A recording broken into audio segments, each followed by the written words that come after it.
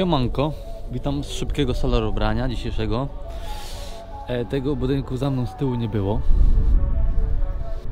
Puszka zamontowana jest tu.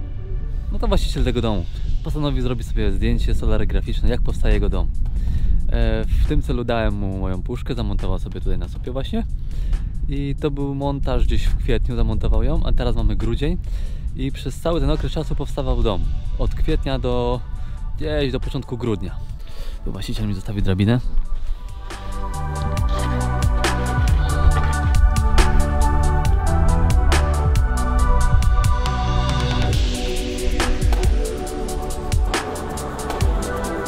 Przypuszczam, że będzie pewnie jakiś duszek, coś takiego, ale nigdy nie mam pewności, jak to właśnie wyjdzie.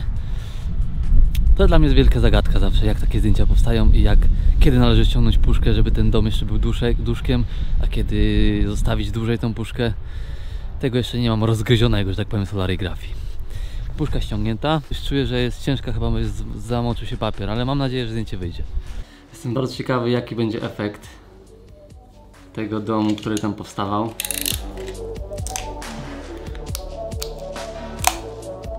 Zdjęcie suche.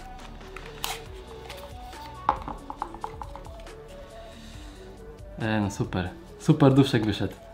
Dobra, yy, schowam szybko, żeby mi się nie zepsuło zdjęcie, a wy zobaczycie to w pozytywie już zeskanowane.